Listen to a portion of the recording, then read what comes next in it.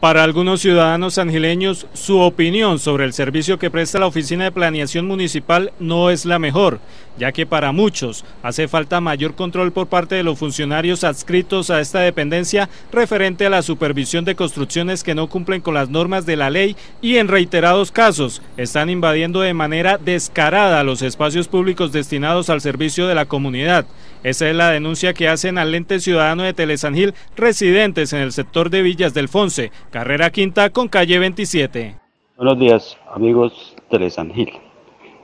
Les envío este video y este audio es de unos andenes que, que han estado taponando en Villas del Fonce, en la carrera quinta, 2704, 2712 y así sucesivamente los números.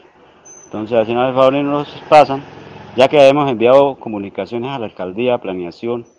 le enviamos otra al señor alcalde a ver qué nos responde y no hemos tenido respuesta alguna. Entonces, para que nos hagan el favor, a ver si hacen demoler eso o entonces que nos compren los predios porque nosotros ya nos taparon fue las entradas de la casa, la gente le toca bajarse del andén porque ya no hay andenes a la vía donde pasan motos, carros, se han visto cogidos los niños, los ancianos, entonces, a ver si nos dan una solución a eso. Se hace el llamado a la Secretaría de Planeación Municipal de San Gil para que tomen cartas en el asunto, porque al parecer serían varias las construcciones en el municipio que estarían aprovechando la inoperancia de sus funcionarios ante la realización de controles oportunos, y cada día los angileños perdemos más espacios públicos como los andenes.